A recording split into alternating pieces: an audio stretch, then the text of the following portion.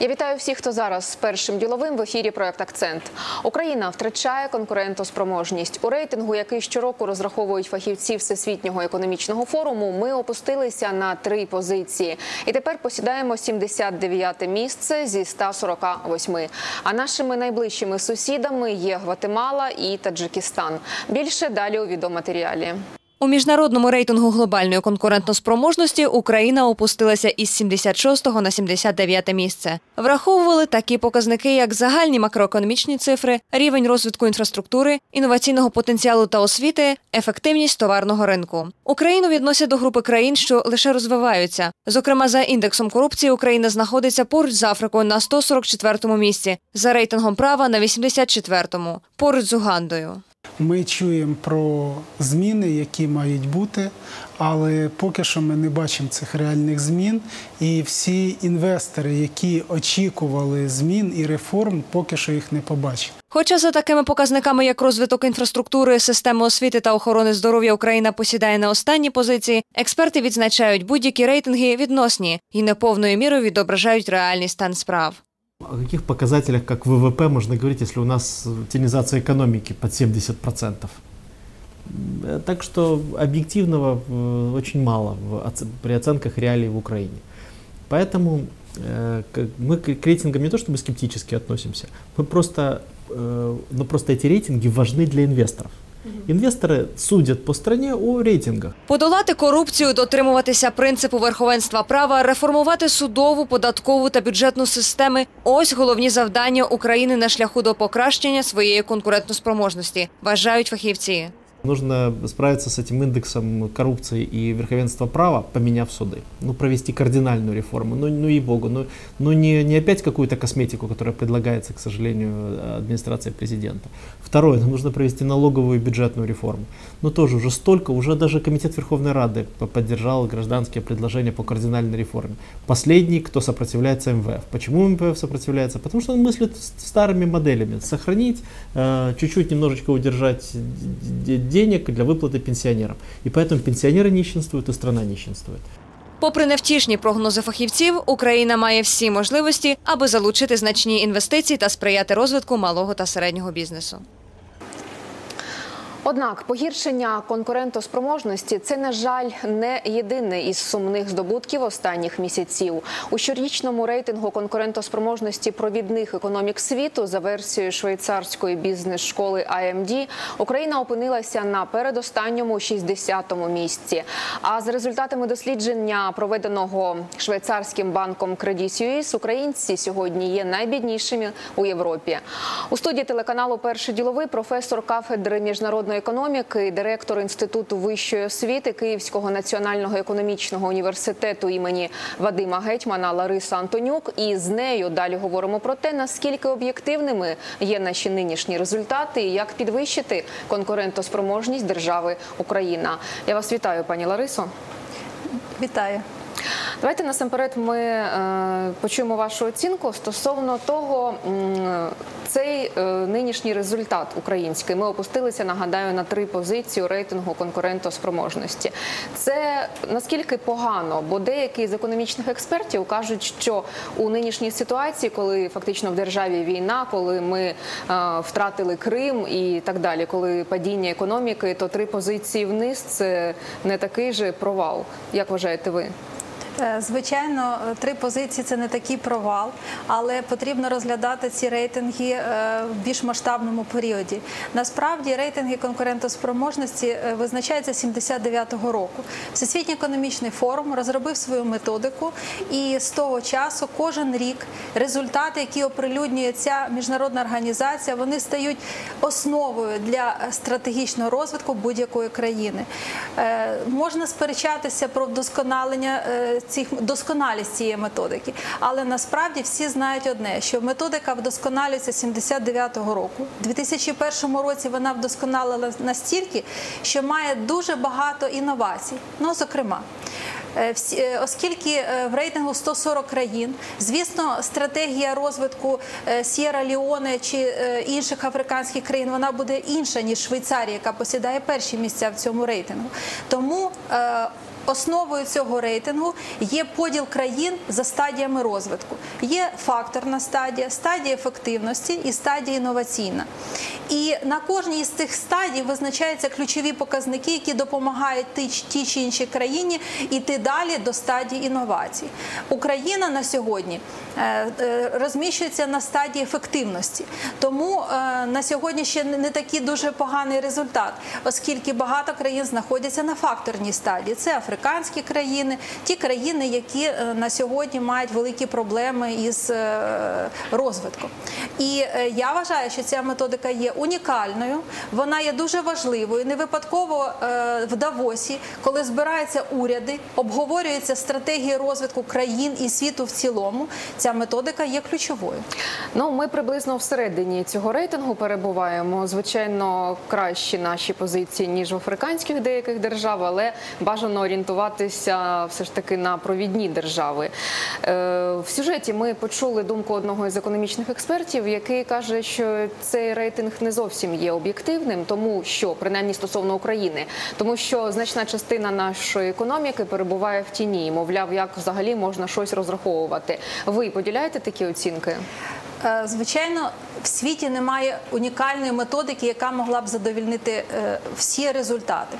Але я е, багато років досліджую методику Всесвітнього економічного форуму. І е, не тільки Всесвітнього економічного форуму, ви сьогодні сказали про інститут менеджменту і розвитку. Це взагалі з 79-го року була одна організація, яка розробляла міжнародну рейтинги міжнародної конкурентоспроможності. Потім вони трошки змінили методики і роблять рейтинги е, окремо. Е, Інститут менеджменту і розвитку робить по чотирьох показниках: макроекономічне середовище, ефективність бізнесу, ефективність уряду і інфраструктура.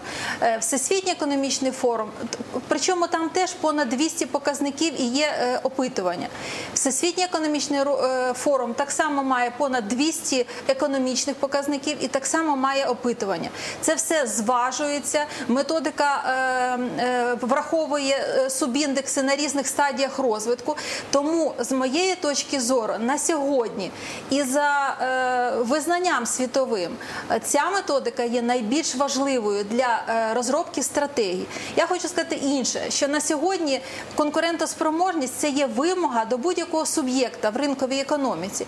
Якщо е, не відповідає, не відповідає е, критеріям конкурентних, е, конкурентних позицій, тоді е, або ти банкрут, або розробляй нові стратегії розвитку. Тому з моєї точки зору, що саме ця методика дуже чудово дає поштовх для е, урядів, як необхідно розбудовувати свою стратегію. Зокрема, три позиції ми втратили в цілому в рейтингу. Але ви подивіться, який є втішний результат. Ми покращили на 20 позицій складової інноваційності.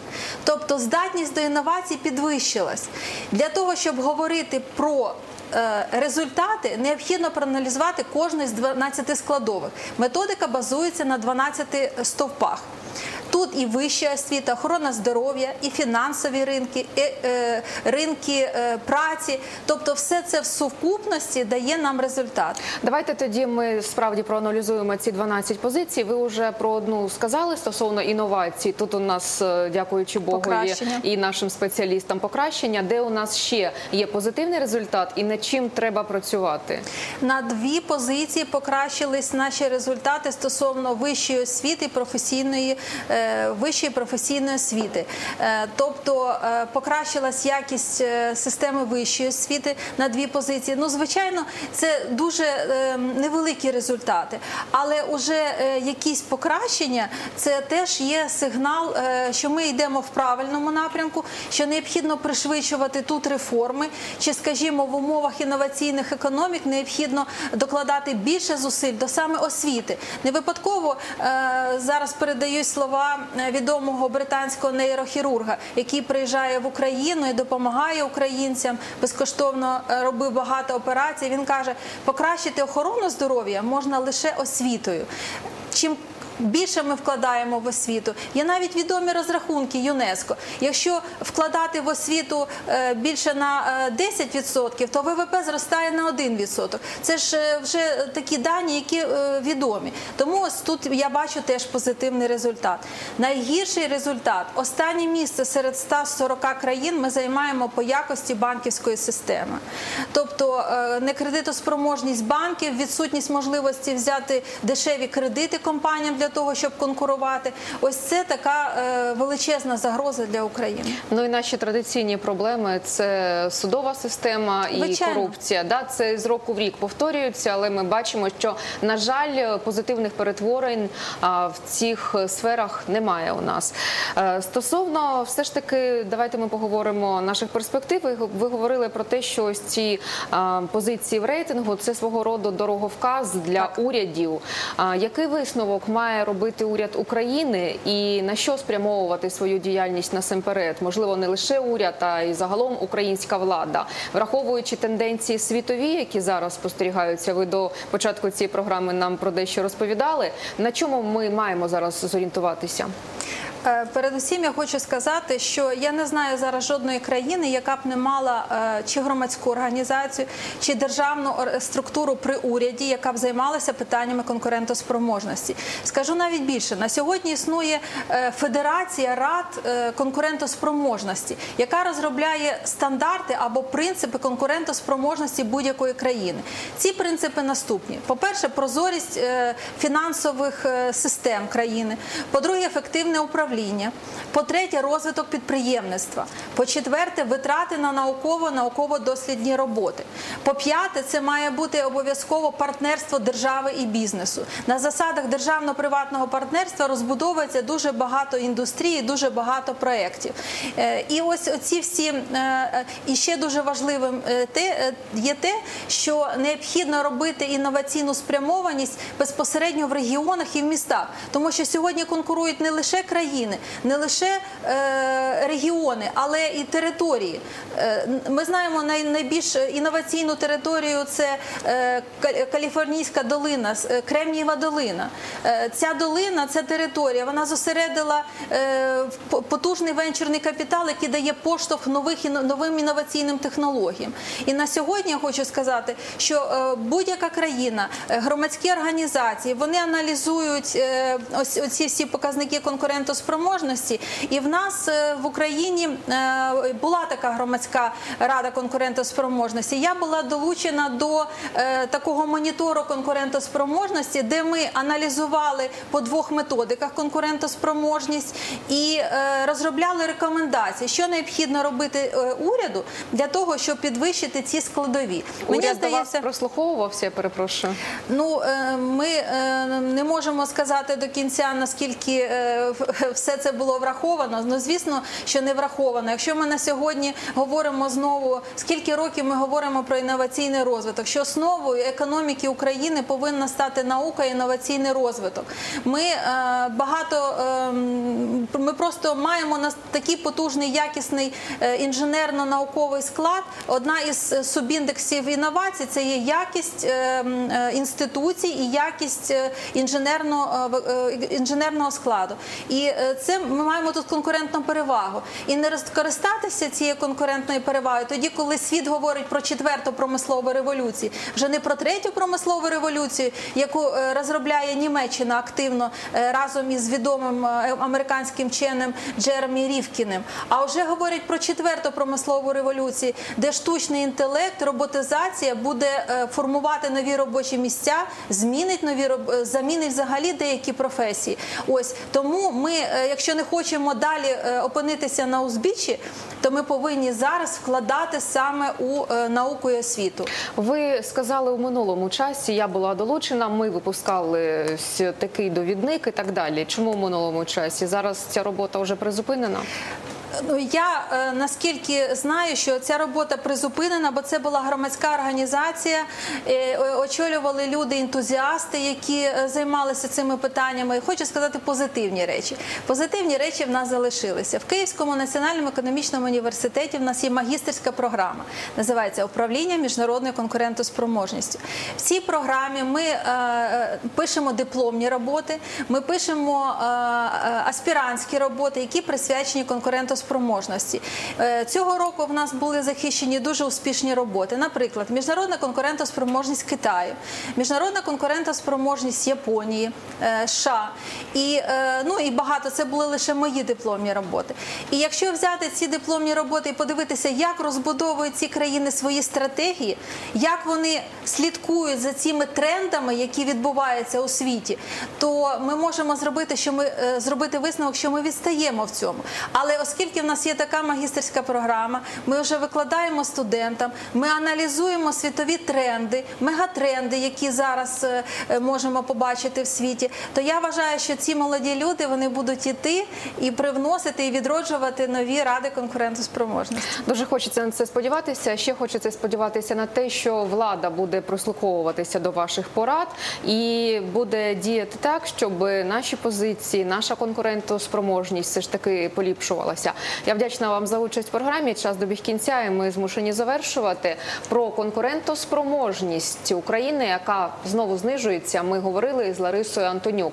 Вона професор кафедри міжнародної економіки, директор інституту вищої освіти Київського національного економічного університету імені Вадима Гетьмана. Далі на першому діловому нові гості, нові проекти. Я ж наразі вам кажу до побачення.